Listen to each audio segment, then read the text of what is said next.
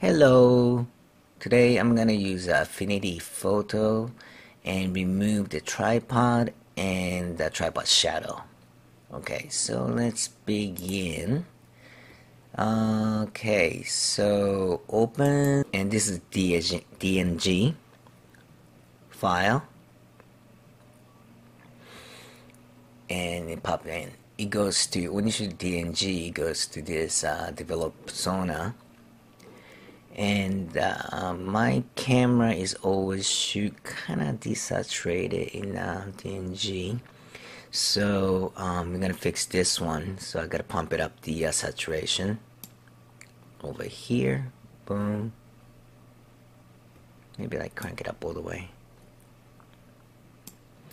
And then maybe a little vibrance maybe a lot. I don't know. Here we go. Huh. that looks good since 360 photo exposing whole entire 360 you know exposure here. So here's the sun right here overexposed in this shadow. But I think it's doing pretty well. So we fixed the uh, saturation and vibrance and then maybe like clarity because it need to be a little bit more sharp here yeah I think it looks good for now. And then we're gonna fix the shadow and highlights. Mm. so bring the highlights down. Maybe like all the way down. Does it work? Not really sure. But here open up the shadow. Uh, it looks kind of washed out so maybe like contrast.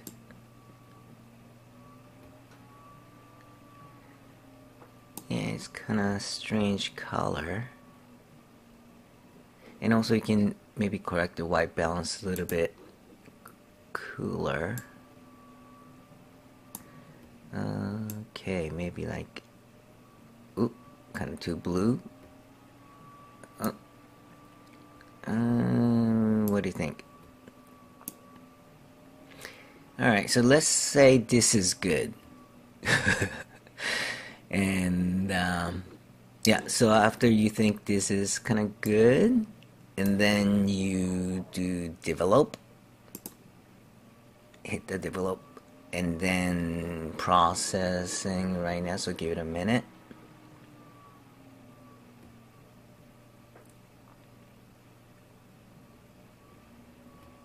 Alright. So it goes to this um, the mode uh, photo persona. So we see this photo, and here's a tripod on the bottom, and a shadow here. Uh, you can use like Photoshop and stuff like that. Uh, if you have a subscription base, then you have like 360 mode and like easily fix. But I have older uh, Photoshop and uh, don't have the 360 editing mode. So when I do clean up this tripod legs and shadow it looks like a, what I call cat spot effect. Uh, but Affinity Photo is cheaper program and I do pretty good job. So what what I do is basically turn this one into the 360 mode here. So layer click the layer and live projection and equi equirectangular projection. So it'll take you to the 360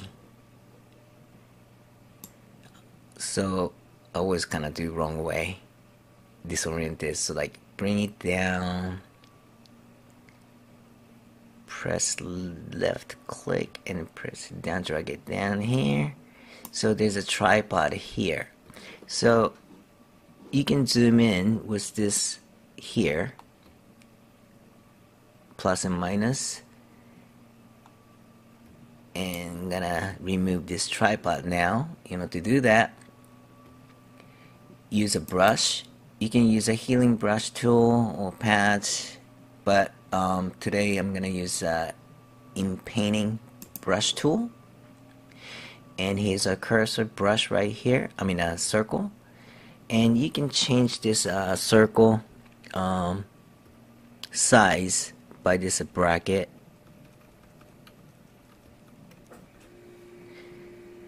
And uh, you kind of set it up here. I think that's good size. And then left click and then paint it over where the tripod is.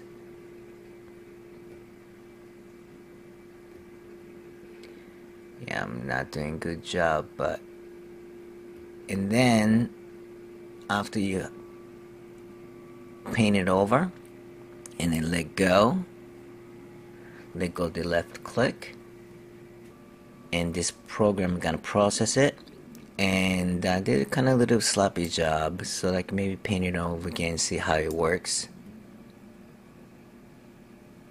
Yeah not bad. And then here. Okay maybe try this one too.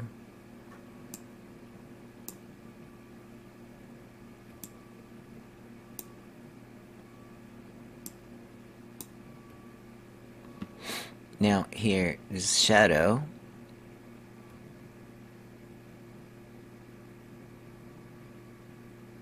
And let go.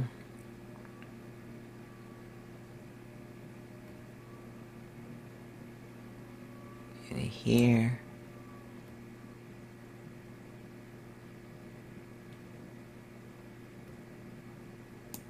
And let go.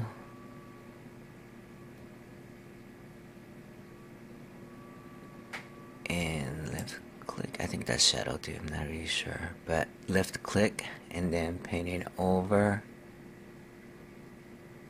the shadow and then let go the left click.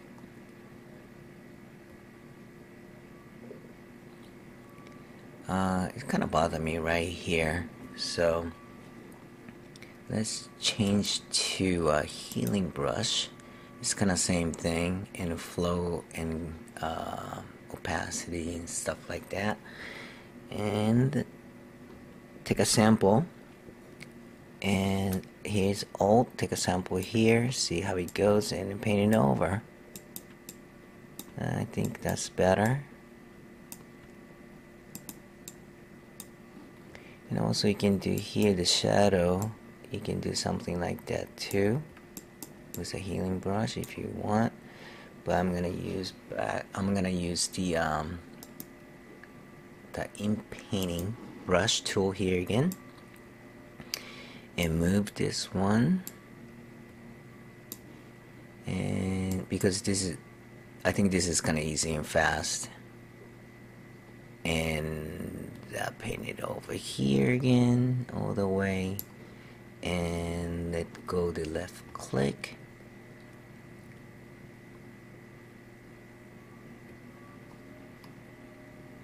now it's gone. It looks good this time one time here. But um, we lose this uh, 360 the cursor you know just move around this. Only the section you can see on the bottom here. So we're gonna bring it back to the 360 mode to look around. So go to layer again. And then edit projection. There's other way to do it too, but I'm gonna show you later. Okay, so we back to the 360 mode here, as you can see. And I look for the shadow. Okay, there's a shadow right there. Right here, we're gonna remove that one. So same thing, grab the inpainting this one in painting uh, brush. And just paint it over. Left click and paint it over the shadow and let go the left click. And give it a minute and boom it looks good. Alright so I think it looks everything good. So other way to go back to 360 mode is the this right here. The move tool. Click on that one. And bring back this uh, bring this uh, edit live projection. So you click on this one. And then go back to 360 mode. And uh, when you want to save this one if you okay you got to use that something called export like uh, Lightroom. But you have to go back to the um, layer and the projection and they remove the projection. If you don't do that and if when you export it only it only export uh, this part not whole entire image. So if you wanna export you know this much is okay. But you have to live projection and remove the projection you know to export the whole entire uh, 360 photo. Yeah okay. So so it looks good then click again and export and it'll give you the export setting PNG, JPEG, TIFF, PSD. Hmm. Okay, and uh, we're gonna export in JPEG and highest quality and quality 100 and uh, export. I'm gonna cancel. So that's all, and uh, thank you for watching. Bye.